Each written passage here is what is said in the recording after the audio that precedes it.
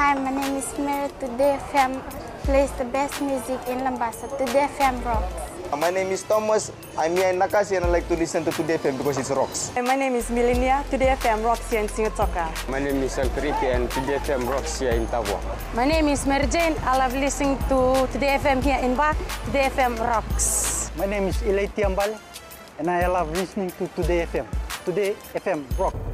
In the news tonight, Supervisor of Elections hits out at Charlie Mbamba. Police to provide around 2,000 personnel for election. And Lautoka settlement gets good news from government. From the studios of FBC Suva, Jackie Spate. This is not the time to be playing or joking around with information, and things should be taken seriously now as the election approaches, says Election Supervisor Mohammed Saneem. Saneem was hitting out at SODELPA member Charles Mbamba for his social media post last week. Akosita Talei reports Saneem has made it clear Mbamba's post is false and misleading. A Facebook post by Sodelpa member Charlie Mbamba shows misleading information that many voters have been registered at more than one polling station. Mbamba specifically points out why District School in Singatoka, Yavu in Lomaiviti, and DAV College in Ba, but the Elections Office has denied this. We will be uh, pursuing legal avenues for, for this type of behavior, uh, particularly if someone represents a political party and uh, this sort of behavior will only lead to misinformation regarding the whole election process and uh, this is not the time to joke around uh, this is the time to be serious about the election the updated registered voters at Y District School is 110, 86 in Yavu, and 360 in DAV College, which totally contradicts the figures by Mbamba. The post has since been taken down. I would like to invite political parties if you find that you have issues with any voters register or any operational logistical matter, kindly raise it with us first so that we are able to clarify the, the issues or if there is any errors, we will be able to remedy it. The idea is that the whole election is to be undertaken by all stakeholders together. Saneem has reiterated this is an opportune time for Fijians to determine that the Fijian Elections Office is a credible and accurate source for election related information.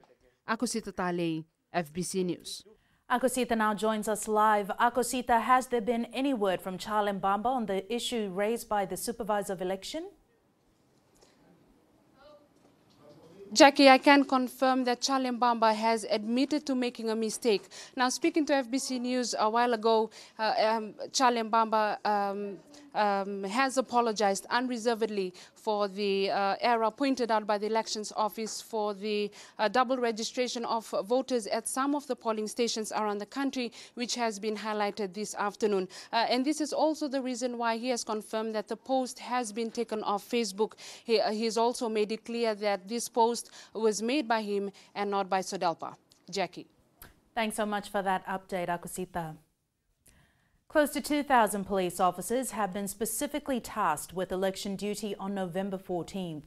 Police Commissioner Brigadier General Sitiveni Qiliho has confirmed this, adding that for now, normal police operations will continue, together with routine police work around the country.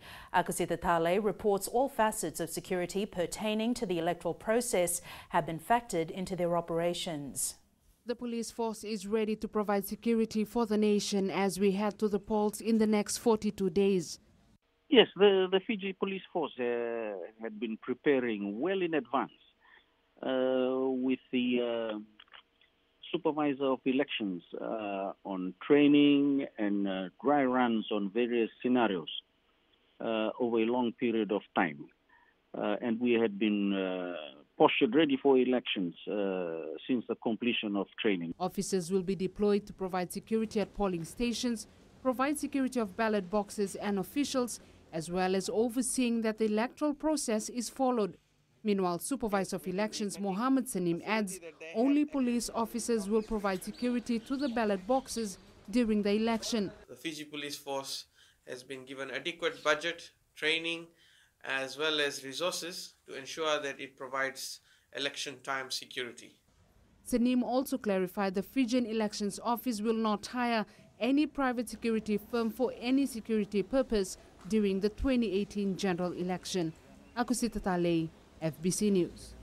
The Fiji First Party held its first 2018 election campaign meeting in Nakasi Nausori last night. Party leader Voreqe Bainimarama, along with some proposed candidates, were part of the meeting. During the gathering, the ruling Fiji First Party heard concerns from the public regarding minimum wage rate and certain policies they wanted addressed. Bainimarama told those present to be aware of other political parties and their motives as the campaigning period for the upcoming general election has started. The party leader said it is important for Fijians to beware of some politicians as they will use race as a political tool, as they have done in the 2014 general election. Those present also praised the policies and initiatives the Fiji First Party has implemented in the last four years. One of only two new parties to throw their hat into the political race to the polls, Unity Fiji is talking up its game as a party that puts people first and one that wants to ensure a holistic approach to economic development.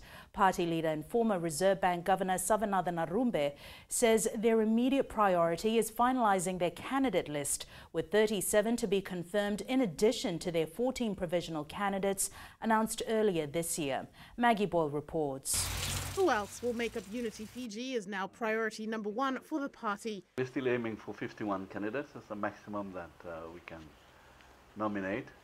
Uh, we have announced uh, 14, so we'll make uh, uh, another announcement as we file our nomination, which will be in the next week.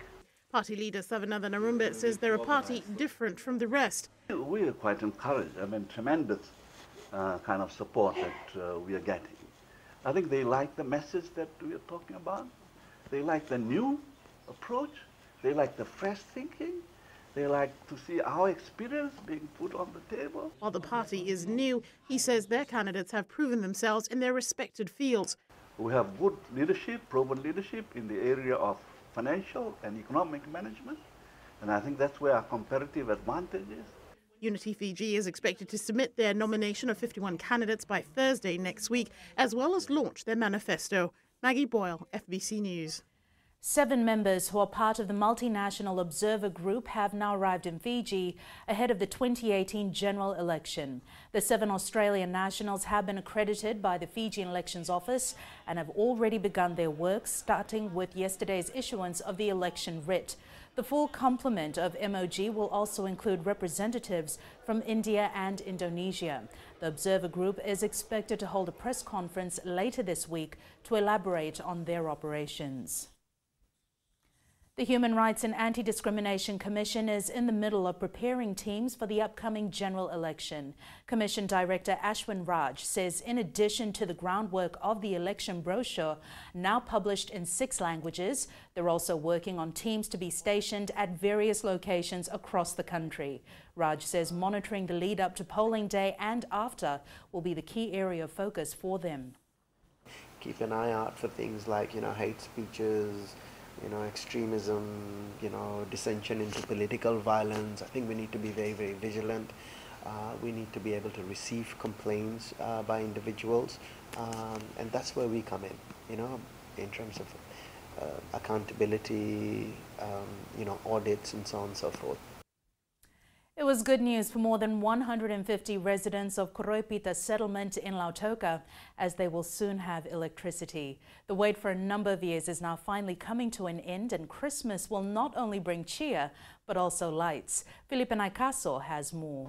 These residents in stage 2 of Koroipita settlement received one of the best news ever. I've just been on the phone and talking to uh, various people including from uh, Ministry of Economy and the uh, they've spoken to the Department of Energy and also to EFL, or what was commonly known as uh, FEA. And I've been assured that you all get connected to electricity before Christmas. One of the main missions of Koroipita settlement is to give poor families an opportunity to break free from the cycle of poverty and provide an improved quality of life. Expand the housing estate here uh, by another 145 houses. That would bring the estate at Koroipita up to 378 houses. The residents have also praised the project managers for looking after them. Yeah, good for me and my family, children, eh? especially my kids. They got everything what they want from this Koroipita community. Easy for us because the rent so cheap, easy. For five dollars now we're paying eight dollars because three dollars for that uh, garbage, rubbish. Eh? It is a very good place for us, and it's eight dollar rent. We can save more money over here. The Model Towns Charitable Trust that looks after Koroipita settlement has so far built 979 homes that have housed more than 4,000 people. Filipe Naikaso, FBC News. Still to come, anemic children continue to concern Health Ministry. And U.S. Navy ship to continue helping the Pacific. Details after the break.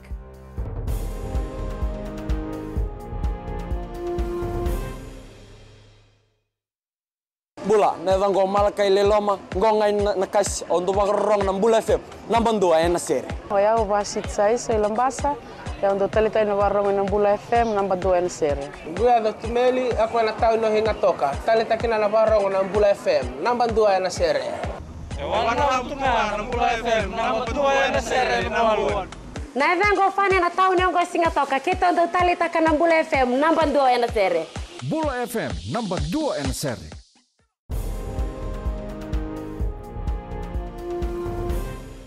A prominent Suva lawyer charged with one count of possession of illicit drugs pleaded not guilty in the Suva Magistrates Court today. Shazran Abdul Latif voluntarily surrendered himself yesterday afternoon after he failed to appear when his case was called in court yesterday. A bench warrant that was issued against him has been cancelled. Latif's lawyer informed the court today they had thought that the matter would be called on the 2nd of November. Latif also agreed to pay $100 as cost for not appearing in court. The prominent lawyer was arrested last month in a drug raid at a Suva hotel. He's alleged to have been in possession of methamphetamine. The matter has been adjourned to October 25th. Almost half of the children surveyed in Fiji face iron deficiency and around 60% under the age of 5 are anemic. This was revealed following a national nutrition survey conducted by the Ministry of Health and Medical Services. Kritika Kumar reports. Health Minister Rosie Akbar says if people are not cautious, anemia can cause serious health problems. Obviously, uh, people would know that uh, when you are anemic, it comes with fatigue. You know, people are tired. It affects our physical and uh, cognitive development, and and it, it does affect our children's ability to perform well in schools. The minister highlighted there are short-term and long-term solutions for anemia. This is just a supplementary to the uh, to the lack of uh, micronutrients that the children may have. So all in all, it's uh, it, it the onus is upon the parents to ensure that the child eats a balanced balanced diet meal. Meanwhile, National Iron and Micronutrition Supplement Program Project Officer Kiti Soravaki says parents play a vital role in keeping their children healthy. And we're also asking uh, parents to uh, learn about anemia, learn about the uh, eating habits that can uh, improve um, um, the states of uh, the uh, anemia in children. In order to decrease the iron deficiency in the children, the ministry has rolled out the National Iron and Micronutrition Supplement Program in 89 schools, whereby they will give iron tablets to students. Kritika Kumar, FBC News. The Health Ministry has covered 72% of the country under its MenC vaccination program since the outbreak in May earlier this year. Minister Rosie Akbar says in order to achieve the remaining 28% coverage, the ministry will commence house-to-house visitations nationwide to vaccinate those who might have missed out. Rachel Nuth with the story. The Health Ministry will carry out the house to house visitation through the assistance of its community health workers in all four divisions. Uh, we have a widespread network of community health workers which will be assisting our outreach teams. So we are able to target every individual between that age group. So that we will be doing. Obviously, we'll be going back to the schools where we, we still have some students who missed out. The ministry highlights 341,885 children have been immunized so far. Because of that, we have been able to contain the outbreak. But all in all, we'd still like to advise the, um, the, the public that vaccination is not the solution. It doesn't protect you for life. People and families, communities still need to engage in uh, best hygiene practices. The World Health Organization says they're happy with the progress made so far. There is evidence that with the mass vaccination campaign, the number of new suspected cases is falling. Clearly, it's premature at this stage to declare the outbreak open. The ministry is urging those children aged between 1 to 19 years to visit their nearest health centres to be vaccinated. Rachel North, FBC News. The U.S. Navy vessel USS Shoup berthed at the King's Wharf in Suva this morning. It will maintain its presence in the Pacific to help preserve peace and security. Commanding Officer Andy Strickland says the U.S. Navy multi-mission vessel will be important the next few days while its crew members carry out community work in the capital city. Savara Tambor reports. There are more than 300 U.S. naval officers and crew members aboard the USS Shoup. Commander Strickland says this is the first time the ship has visited Fiji on its mission of maritime security in the area. All the countries in this region have experienced economic prosperity, largely because of the security and stability that exists at sea. Fiji is a key partner in the Western Pacific, and we're here to enjoy this beautiful country. According to Cryptologic Warfare Officer Ivy Hicks, out of 300 crew members, more than 30 are junior officers uh, more junior and less experienced, but they usually have a different way of thinking about a problem or approaching it. So uh, the term "think outside the box," or you know, they would voice it. They just might not understand, and by us saying, "Why do we do it this way?" it helps out um, the senior leadership to communicate to them, like, "Well, we have to do it." The ship was deployed in July for duty in the Pacific. The last port visited was Guam. Sabaira Tambua, FBC News. Mahatma Gandhi's beliefs are still relevant to society today as he urged the value of truth and non-violence in humanity. Speaking at his 150th birth anniversary in Suva yesterday, President Major General retired Jioji Konrote says people can learn from his heroic efforts. Mahatma Gandhi's five pillars of nonviolence respect, understanding, acceptance, appreciation, and compassion are absolutely vital to our existence. Now, these are simple habits, characteristics, or traits that we can all try to emulate and nurture at a personal level, which will have an impact on our relationship with one another. Coming up in sports later, Jamie will have all the latest on the IDC. But before that, here's Rachel with all the day's business updates. Thanks, Jackie. Good evening. And coming up after the break, BSP launches new service for Fijians. And in Growing Fiji, work on Tamavua estate to start next month. Stay with us.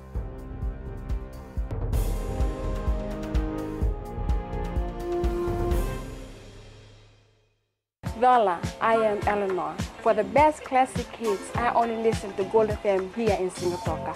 Gold FM, only the classic hits. My name is Seni Rawa. I love listening to Gold FM here in Nausori. Gold FM, only the classic hits. My name is Dino. I'm from Outrigger, Coral Coast, Singatoka. I love listening to Gold FM. Only the classic hits. My name is Salote. I love listening to Gold FM here in Missouri. Gold FM, only the classic hits. Bula, my name is Marida. Gold FM plays the best classics here in Outrigger, Singatoka. Gold FM, only the classic hits.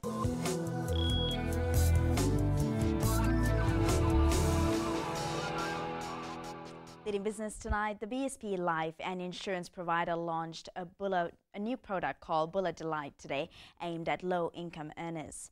Managing Director Malakai Naiyaga says due to the high demand of short-term financial plans by low-income earners, they have launched the Bullet Delight. He says the package also has funeral assistance, critical illness and dis permanent disability, as well as accident death cover. Naiyaga adds there are 150 professional insurance advisors at 10 customer service centres Fiji-wide to provide assistance to Fijians.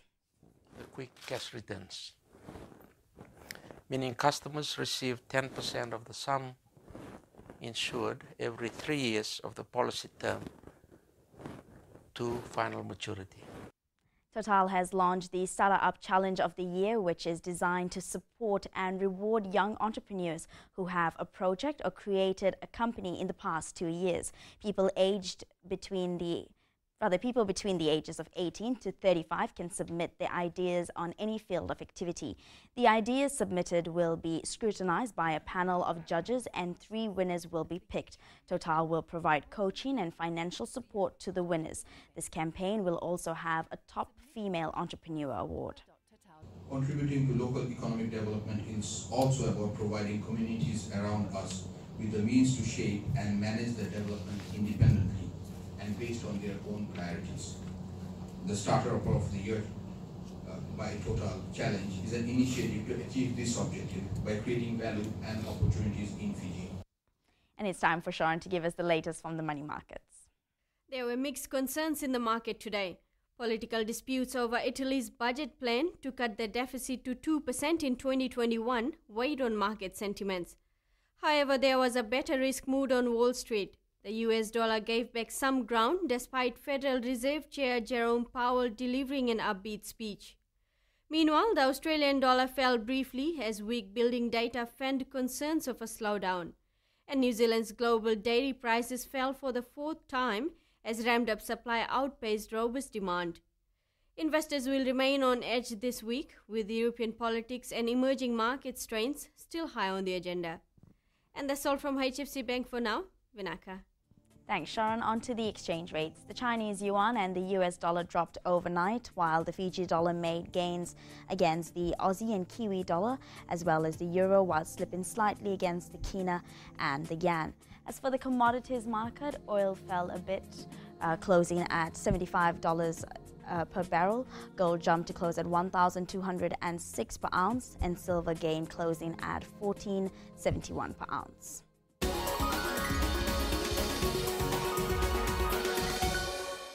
And in Going Fiji tonight, work on the new Tamavua estate will start by the end of next month. Tamavua Estate is a $8 million boutique collection of four luxury homes and close to being sold out. These three home estates cater for a wide variety of owners, including families and professional couples. Pacific Building Solutions Public Relations Manager Atilete Lama says the project is expected to be completed by the end of next year. A collection of four luxury homes. Each home is uh, uh, is pet friendly, so you it's a three bedroom home. Um, not it's quite different from our apartment blocks. Yeah, it has you have your own compound, one family. It's very it's designed for families.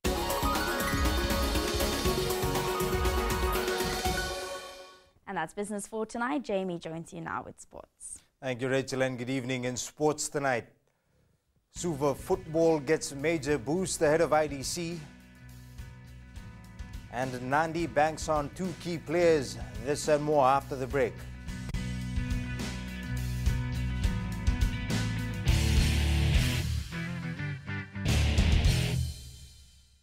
Hi, I'm Jyotishma. I'm from Singatoka. I love listening to Mirchi FM. Mirchi FM is hot. Mirchi FM is number one. I'm Charlene Robert. Mirchi FM rocks in Lambasa. I'm Soname Nausori Jackson. Mirchi FM is hot. My name is Raymond Dutt. I'm in Baba Singh Alliance. Mirchi FM is hot in Lambasa. I'm Kritika from Jackson Nausori. I love listening to Mirchi FM here in Nausori. Mirchi FM is hot. Mirchi, FM, is it's hot. hot.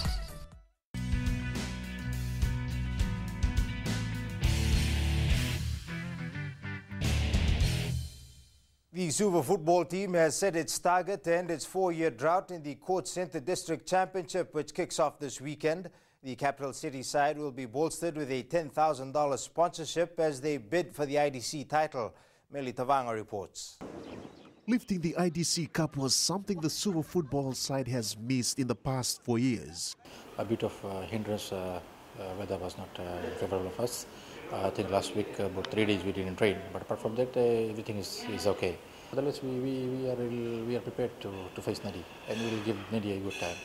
With more experienced and new players in the squad, the side is still deciding the positions of its players. Still, like uh, seeing, trying to see, fill in which place to play where. Like we got about eight or eight, nine new players. So still we are trying to fit in where they can fit in well to play. The capital city side's preparation will be bolstered by a $10,000 sponsorship check received today. As you know, Lincoln Refrigeration is not only supporting a district, but uh, supporting the country in sports. And that's where we, we're here to support the sports. The sports uh, uh, like soccer, like every, every, each and everyone is enjoying, like is coming up this weekend. Suva plays Nandi in its opening 6 p.m. match at Suva's ANZ Stadium on Friday. Meli Tavanga, FBC Sports. Former Waitakere midfielder Horace James and veteran utility Krishna Sami have been included in the Nandi football team for the IDC. The team will be without star striker Napolioni Qasevakatini, who has joined Suva. But the belief within the Jet Setters camp is that the two new inclusions will boost the side's chances. Vashnil Prasad reports. Cool and calm, the Nandi football players ready to battle come Friday. Bill is lost, but I, am pretty sure we have other players who are capable enough to fill in the void that he has left, uh, and I'm confident they will do the job for us.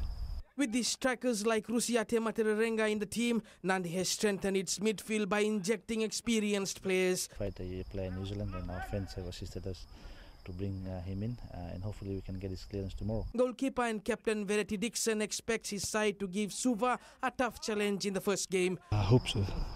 We aim for a win against uh, Suva in first game. It's going to uh, be hard. There's many good players. It's been nine years since the Jet Setters last won the IDC, and the belief is that this bunch can change the fortunes in 2018. Vashnil Prasad, FBC Sports. The Fiji Airways Drua side began preparations today for its clash against the Canberra Vikings in the sixth round of the Australian National Rugby Championship on Saturday. With no major injuries in the team, all the players hit the ground running at Prince Charles Park for their first session of the week. Coach Senirusi Seruvakula says they'll be putting in a lot of emphasis in their forwards to counter the threat from the Vikings up front. We just need to be focused, uh, focus on uh, what we're doing. Uh, uh, the Vikings have a big uh, forward pack, and uh, and there's a lot of our, play, our boys need to be urgent urgency in, into tackling uh, and defending the, that that maul, and uh, that's one area that uh, we are working on on on today and, and tomorrow. European champions Real Madrid fell to a surprise 1-0 Champions League defeat by CSKA Moscow in Russia. Toni Kroos gave the hosts their goal in the second minute with a terrible back pass that was picked up by Nikola Vlasic. Edin Dzeko scored a hat-trick and Justin Kluivert became Roma's youngest Champions League goal scorer in a 5-0 win over Viktoria Plzen. David Silva scored the winning goal for Manchester City as they defeated Hoffenheim 2-1 this morning. The Spaniard also played a key role in Sergio Aguero's equalizer in the first half. All Black prop Owen Franks is relishing the challenge of facing the Springboks on Sunday and feels there is still plenty to play for in Pretoria.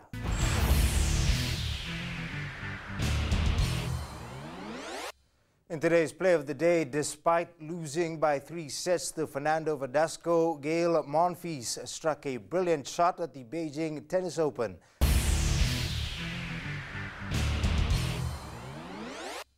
That's it from sports tonight. Join Angie later on with weather and the new media. Find out how to keep tabs and manage a child's smartphone usage. Details coming up.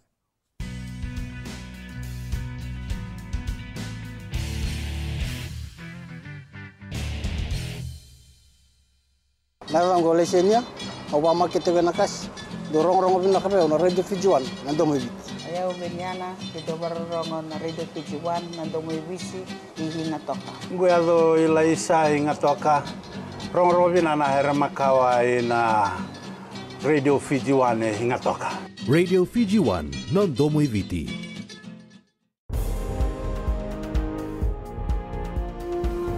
And it's weather time now with Angie.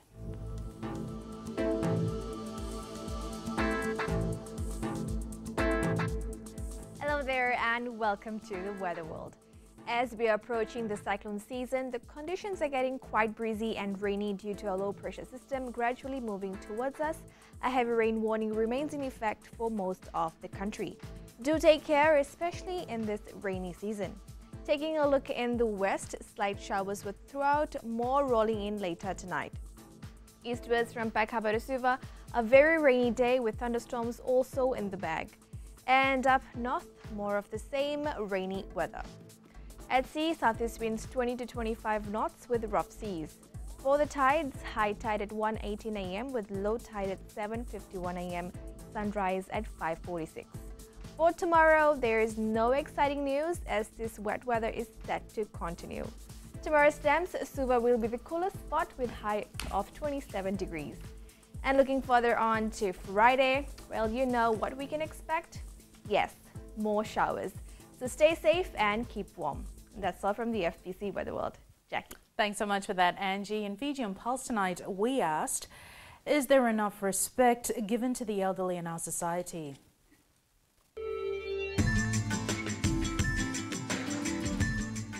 No, I think there's no respect for old people. It's simple. If you want to succeed in life, you just have to respect our elders and parents, and because that'll take us far in life. Yes, we should respect them old people. Yes, I think the people there usually respect the elderly people.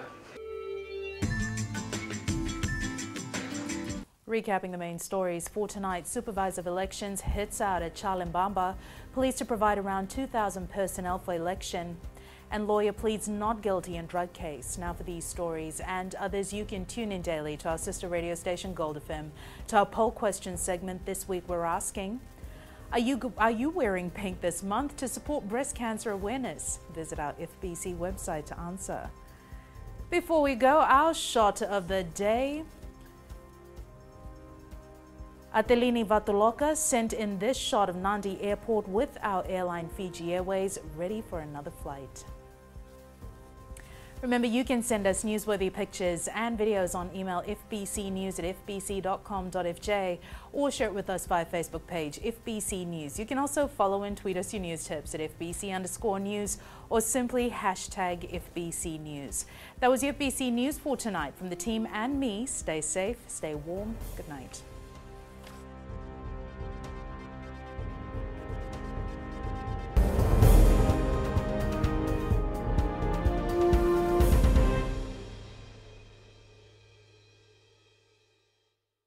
मैं नवनीत नंद नंबुआ लुम्बुआ से जैसे trainee north मशहूर है वैसे radio Fiji to भी सभी जगह मशहूर है। रेडियो फीजी टू देश की धड़कन। सीमा नकाशी से मैं रेडियो फीजी टू पसंद करती हूँ सुनने के लिए। रेडियो फीजी टू देश की धड़कन। मैं हूँ अंकल किंग सिंगाटोका टाउन के टैक्सी ड्राइवर जैसे रग्बी फ़ेमस है वैसे रेडियो फीजी टू फ़ेमस है। रेडियो फीजी टू देश की धड़कन।